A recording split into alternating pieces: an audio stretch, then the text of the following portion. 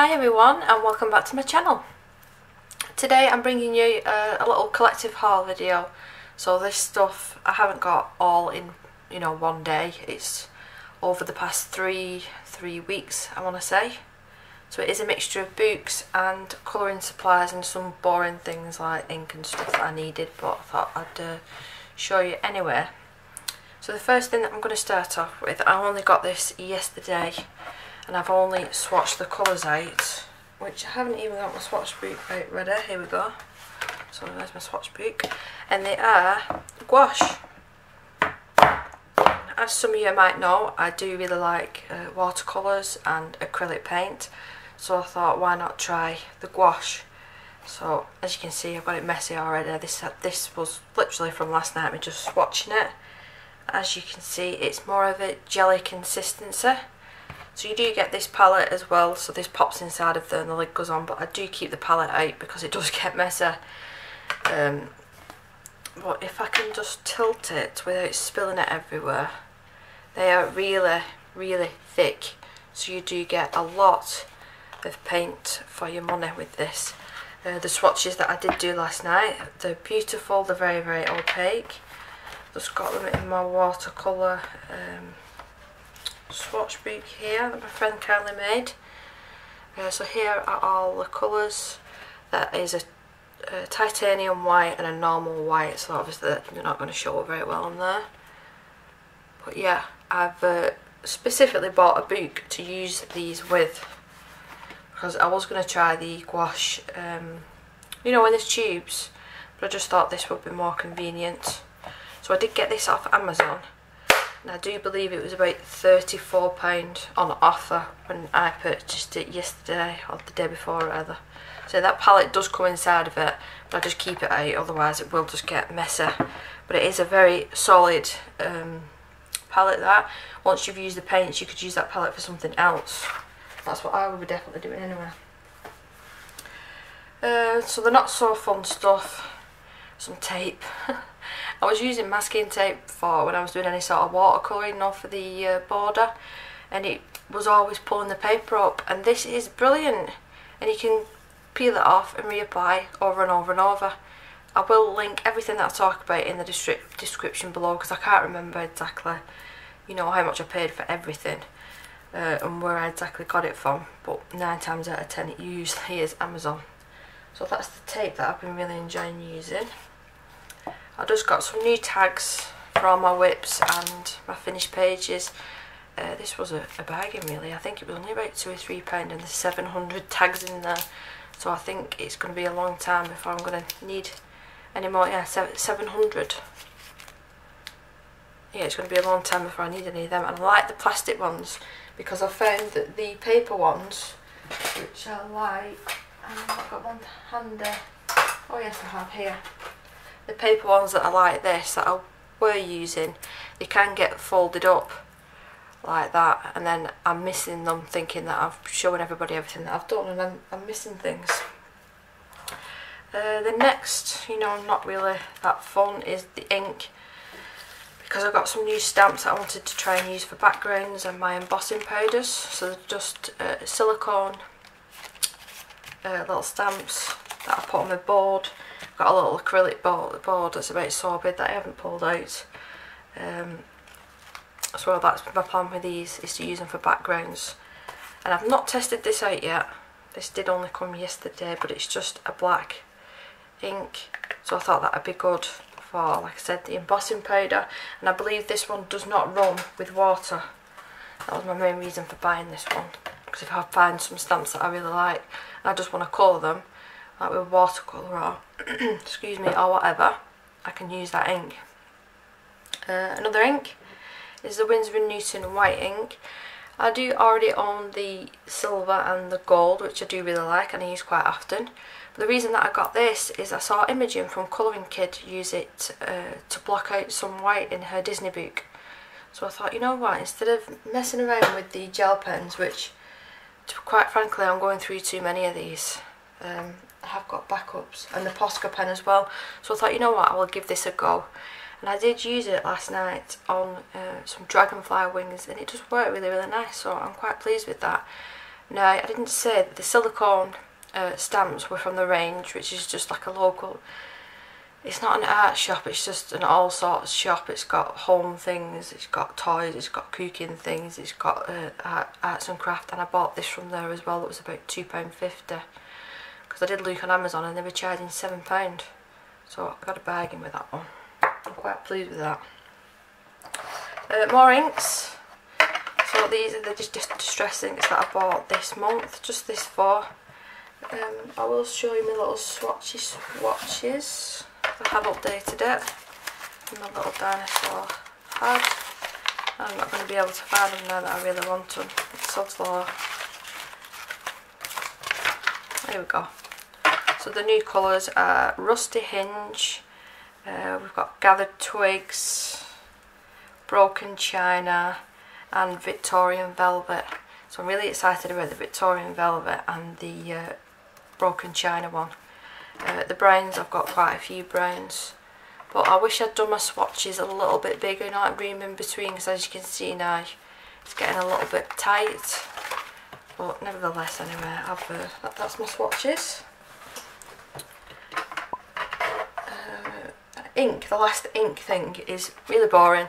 I just needed some more printer ink as a backup because I hate uh, buying a PDF book off Etsy and getting halfway through the book and the ink runs out. I, there's nothing worse that annoys me.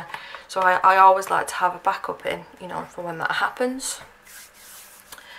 Um, this isn't brand new, but I didn't actually show it in my last haul. But I have spoke couple of times actually about the Chinese white pencil that I like for blending. So this is how I found it. I'd, I'd purchased this set and used this pencil for blending uh, my Prismas and my luminance and it works like a treat so I have got a few backups of just this one colour but the actual um, this set I do believe the biggest set that they do is 24 I want to say is it 24 or 32 I can't quite remember but I'm quite happy with this set the 12 it's got some actually nicer skin tones and some nice fur colours. So if you're wanting to do like foxes, wolves you know that sort of thing they're really really handy for that. So I'll just keep them in the tin. Literally just before I started filming I checked my washing machine and it had six minutes and it seems like six minutes is gone and now it's pinging so that's why I had to pause it to go and sort it out uh, I got the other Thomas Thomas Tom Tomic. I can't pronounce his name. I do apologise. Uh, I have got the other book which I've still not done anything in because the pictures scare me to death but I do just love the artwork um, itself. But I have purchased something else that I'll show you towards the end because it is quite big that I've I'm going to use in these boots because of all the fine detail. Um, but yeah if you do want any flip throughs of any of the boots or anything that I do show you just leave me a comment down below and I'll happily do that uh, we've got a little mini Disney book I mean the size of my hand, it's teeny weeny so there's two of these that I've got I mean, at the moment, these are bargain price on Amazon. These are £5.10, £5.9 I paid for each of them.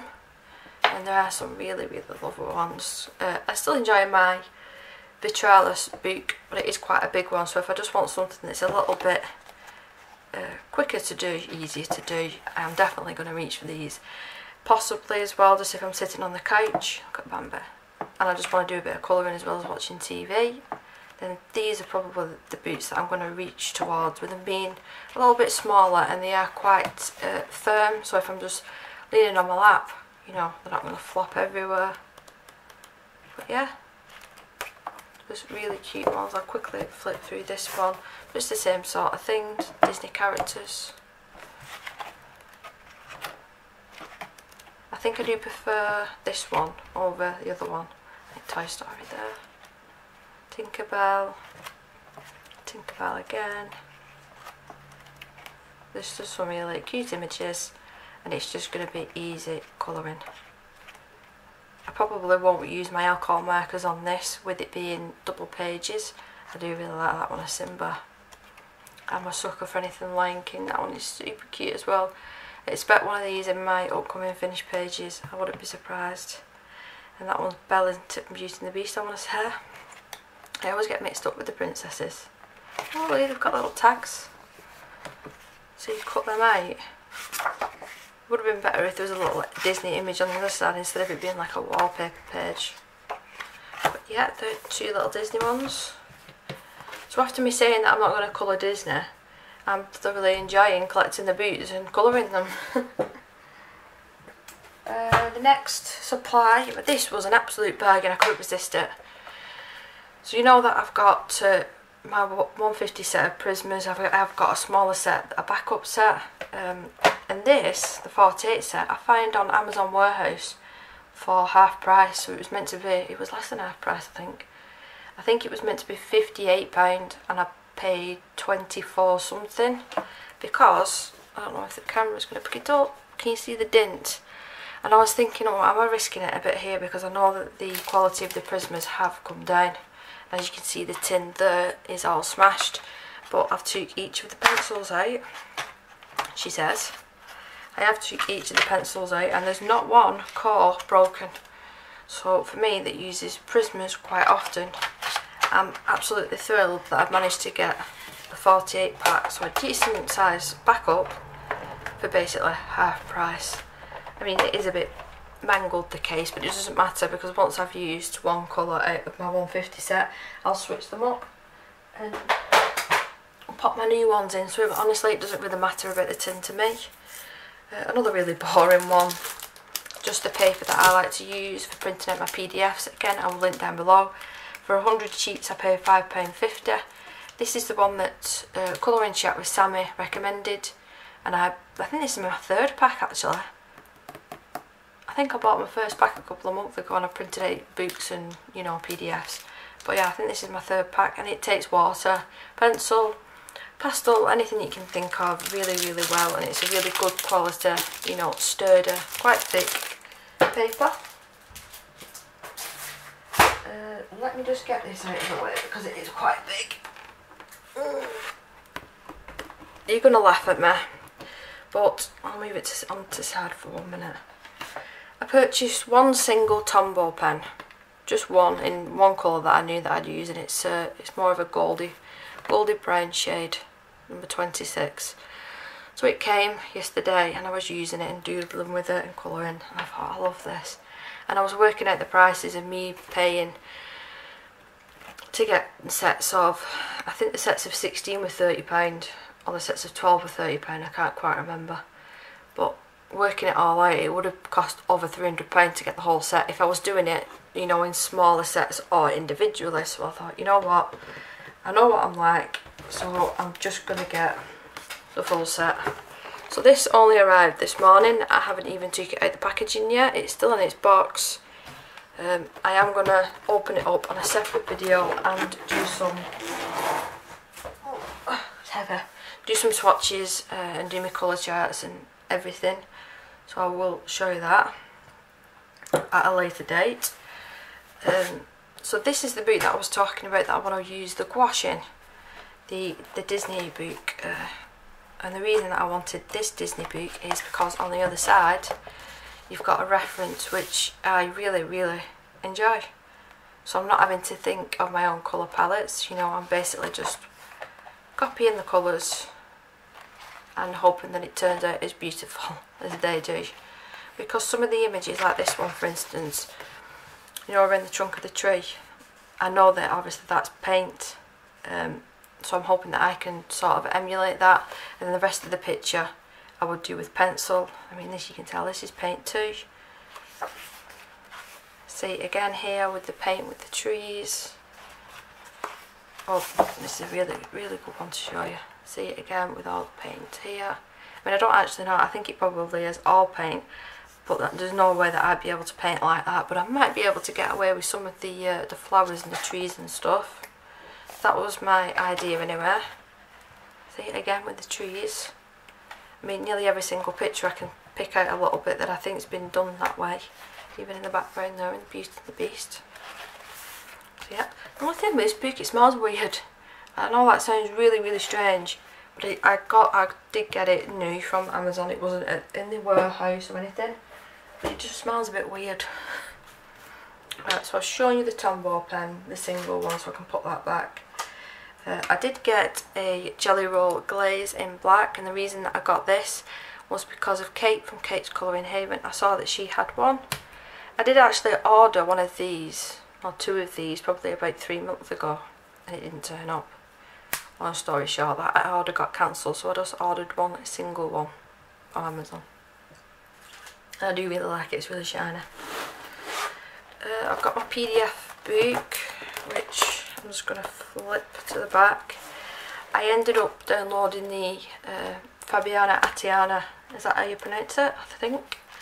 Uh, Harry Potter PDF because she had it them on a sale for the whole set so I thought I was going through a Harry Potter stage I'd watched the whole seven or eight movies I want to say in a space of a week and a half so I was went on a bit of a Harry Potter craze so you've got the Hogwarts, you've got Harry, Hermione Ron, I don't always show me PDFs, is it worth me showing you PDFs?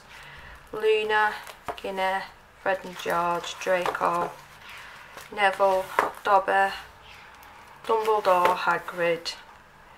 Uh, yeah, you're not, and that, is a finished page. If you're on, if you're on uh, Instagram, you would have already seen that. But I did download the new Hannah Lynn one as well. Again, if you're on Instagram, you've seen already that I've done two or three pages actually of that PDF book. Uh, you're gonna laugh at me now.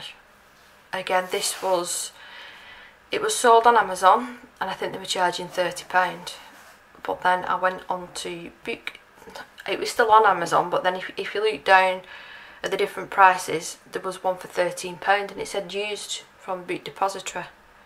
So I clicked on it, bought it and it arrived, it still had its cellophane on. It was literally brand new, not even opened and it's Harry Potter book, Harry Potter colouring book. Let me just zoom you out a bit because it is quite a hefty book this one. But it's got a lovely thick cover. I won't do a flip through of this because there is plenty of flip throughs on YouTube as it is. But if you just get the the basic idea I've not coloured anything out of this yet but I definitely will. Lovely paper. There is some uh, they're not double page like well yeah I sort of there's a double page spread on this side and a double page on that and it all spreads out and I won't be, I've not got enough room on the desk to show you. But basically it goes through all the different movies from the first to the last and showing you all different scenes. So you know you could Google them scenes and then copy the colours and whatnot. Uh, this one, I finished a page in it last night, I couldn't wait. So I bought this, it was classed as second hand off my friend Emma, but she'd, she'd not coloured in it. She'd not coloured in it, so I'm classing it as brand new and I've uh, I have got the first one of this. Which one was it called? Ticket to Dreams, I think it's called. So yeah, it is signed. It's just a lovely, lovely book. I finished this one last night and it was more of a collage page and I really enjoyed it. I wasn't thinking much about what I was doing. I was watching a movie at the time and I've just, you know, had fun with it. So that is one of my finished pages up. Um, and the very last thing is the flower year. And I thought, am I going to like this? A lot of flowers everywhere. But you know what? I do. I like the fact that that's where I tested out the Tombow markers last night. I like the fact that it is, you know, there's months in it. And I can go through and colour one in each month. I thought that would be nice. That's the one that I did last night. And it has set through because of all sorts that I chucked at this paper. I just wanted to test it to see how it would turn out. But yeah, I'm planning on doing one a month in this. And then at the back, this is the main reason that I liked it. In the index it tells you what plants, what flowers are in the picture so then I can google it and I get a reference picture and copy so I'm not having to make it up myself. So anything like that, I class it as easy colouring because I'm not having to worry too much about colours or anything. Um, so yeah, that is everything I've bought in the last two or three week, I want to say. So I do hope everyone is keeping safe. And I do apologise for finishing off the last colour along as a speed colouring, but I was not feeling very well that day. I wasn't up to sitting there chatting for half an hour or so. So I do hope that's okay. But I hope everyone is keeping safe and I will see you in the next one. Time to tidy up. Bye